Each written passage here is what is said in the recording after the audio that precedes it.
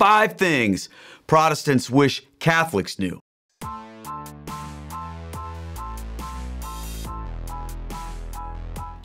Why am I making this video? Well, I made another video recently called Five Things That Catholics Wish Protestants Knew. And the reason why is because if we're going to have a meaningful dialogue with one another, we have to understand what each other believes and our positions as accurately as possible. Because I tell you, it's very frustrating to answer objections about Catholicism when they're based on untruths or misunderstandings. So that's why I made the last video. So why am I making this video? Well, because this needs to go both ways, plain and simple. So how can I make this video when I'm a Catholic? Well, Quite simply, it's because I used to be a Protestant. I was a pastor for 22 years, so I'm fully aware of what it's like to be a Protestant and actually to be an anti Catholic Protestant for quite a bit of time in my life. And I remember when I was thinking about Catholicism and the conversations that I would have with with Catholics, there were some times where I would become frustrated and think to myself, I wish they understood this about me as a Protestant. So it hasn't been that long, about five years for me since I've become Catholic, and I still remember the way that I used to think about a lot of things. And so I thought it would be helpful to share with you these things for the purpose of helping us have meaningful dialogue. I'm not here trying to be disrespectful to anybody, quite the opposite. I'm not here trying to put down anybody or belittle anyone's positions. I'm just here trying honestly to help my Catholic brothers and sisters understand that maybe some of the ways that we talk to our Protestant friends aren't exactly helpful. And some of the things that happen to us in conversations, hey, we might be guilty of doing the same thing. So, before I begin, let me just share these are not all comprehensive of all people everywhere. These are just the five things that I thought of this morning when I was kicking around making this video. So, if you have others, please let us know in the comments, and I'm sure that you will. All right, here we go. Number one not all Protestants are the same, which is kind of ironic that I have to make this because one of the talking points of Catholicism with relation to Protestantism is how many different variations of, of Protestantism there are.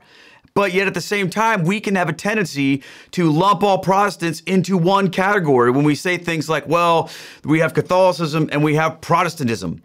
I, I hate to break it to you, but there really is no such thing as Protestantism as a defined thing.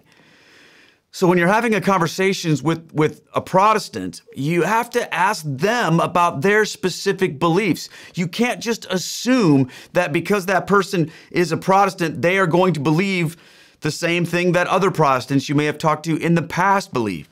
For example, not all Protestants believe in sola scriptura. You know, I was a Methodist and we believed in what's called the quadrilateral, which basically says that we believe our our truth is revealed to us through scripture, experience, reason, and tradition. Probably not in that order, but that's that's where that comes from. Other Protestants believe that God continues to reveal new things. So not every Protestant's going to have this sola scriptura mindset. There are many that do, but not everyone. So we have to remember not all have the same beliefs. And consequently, not all Protestants worship in the same way either. You know, there are some Protestants that are like high church, like Anglicans and Lutherans, oftentimes that have a liturgy that looks very Catholic to a to a, a an uneducated person that might not know the difference. Um, and other people don't. You know, sometimes we see, I'll see memes or whatever of like a megachurch worship service with a rock band and a light show, and it'll just be like, oh, Protestants, you know, they don't have deep worship. But that doesn't give an accurate description of all Protestantism. So there are different types of worship. Additionally, there are Protestants that have different beliefs about things, like important things. Did you know that there are some Protestants who reject the Trinity. They're called like oneness Pentecostals. Now, some would say, well, they're not even really Christians. But if you ask them, they would consider themselves Protestant Christians. And there are others who accept the Trinity. My, my point is this there are so many variations when it comes to what Protestants believe, what they how they worship and how they look at the world. We can't just fit them nicely into one category when we're speaking about the difference between Protestants and Catholics, okay? So don't assume anything. Ask questions, ask specific questions about what an individual person believes or thinks. Don't just lump them into something, okay? All right.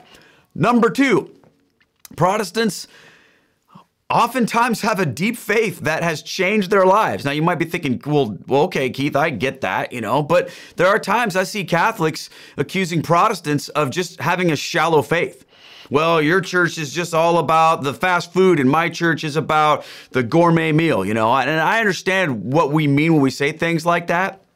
But sometimes when we can find ourselves judging other people's faith, uh, personally and thinking because they're not Catholic, they don't have a, a deep faith in Christ. Friends, that's just wrong to make those kind of judgments. We don't like it when they do that to us as Catholics, which a lot of them do, my friends. And and I don't know about you, but I, I I don't react to that very, very uh, happily when a Protestant says to me, "Oh, well, because you're Catholic, you don't know the Bible, or you don't have a personal relationship with Jesus Christ."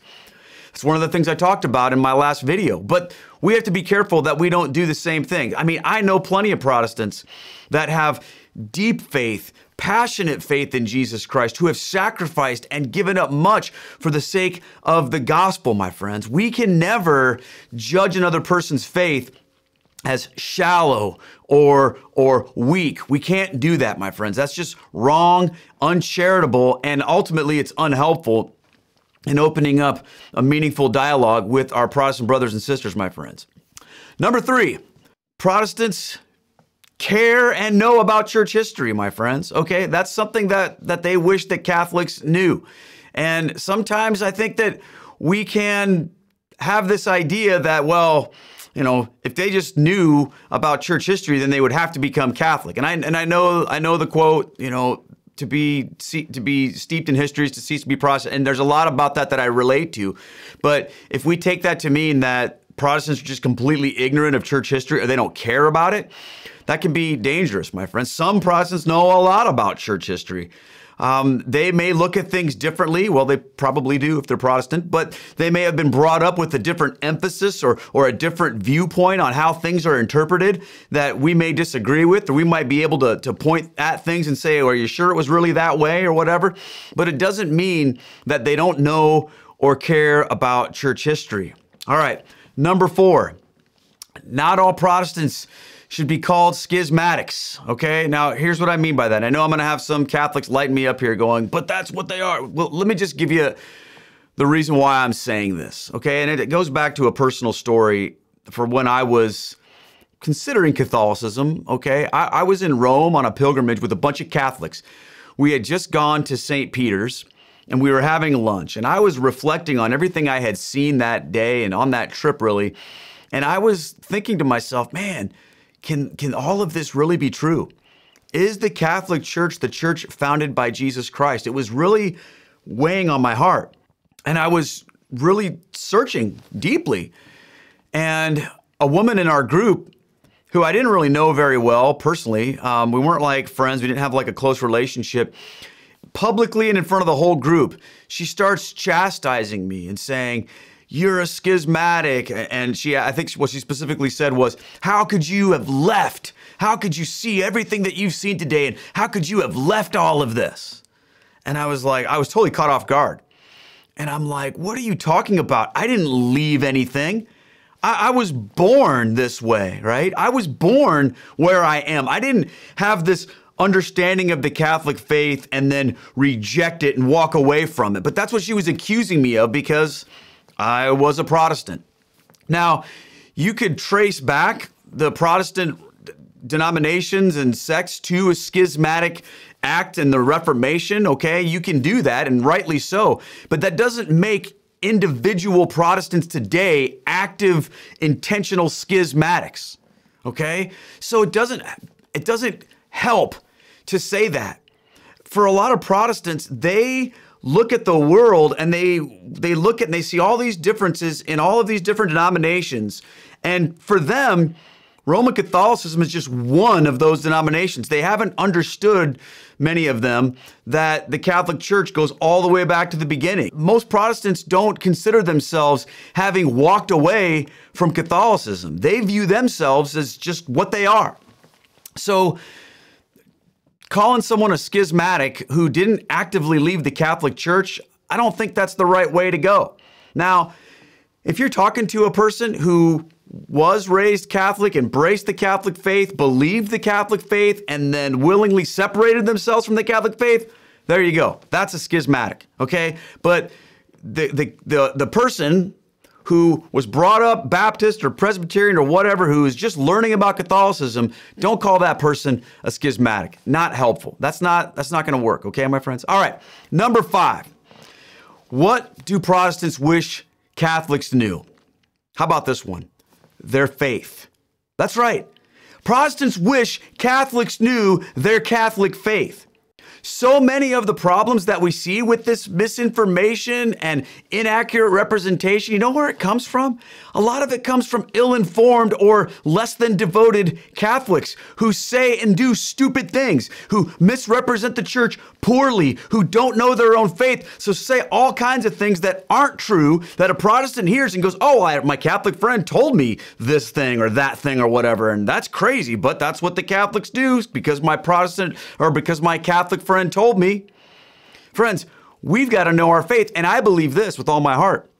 Protestants, they wish that Catholics knew their faith so that when they had those conversations, what they were receiving from their Catholic friends was the accurate, best picture of Catholicism so they could know what it is, my friends. And that should, you know, put the onus on us.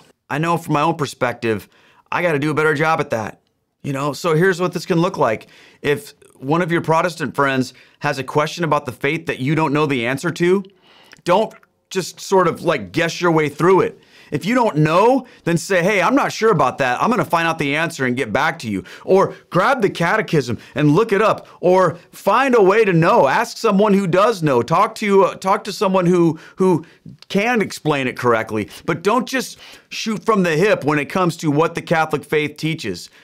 Get yourself in line and understand that. And you better, above all things, be living a life in faith that shows your Protestant brothers and sisters how amazing and how incredible it is to be a Catholic. So that when they look at you, they don't see someone and go, man, I don't want to be like that.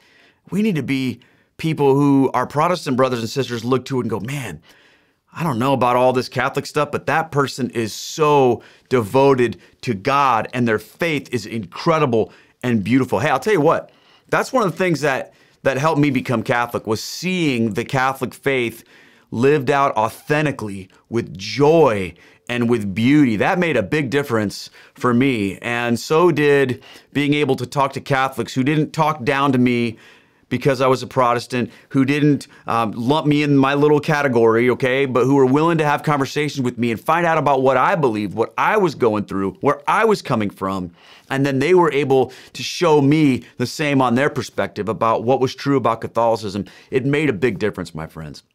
So, again, I hope to my my Protestant brothers and sisters that none of the things I said you took disrespectfully. Again, that's not my intention. And to my Catholic brothers and sisters, I hope that you uh, were able to to take something from this that's going to help you in your conversations when it comes to explaining and defending your Catholic faith. Friends, thank you so much. If you found this video helpful, I pray that you would share it. And if you haven't done so, please subscribe to this video. And I also want to say a special thanks to those of you who support this channel and this ministry through Patreon and through my website. If you're looking for more information about what I do, you can check the website down in the description of this video, Down to Earth Ministry. There's a lot going on on this channel, and I'm excited to have the opportunity to share the beautiful faith that I have received, the Catholic faith. And I pray that you would discover it as well, my friends. Take care and God bless.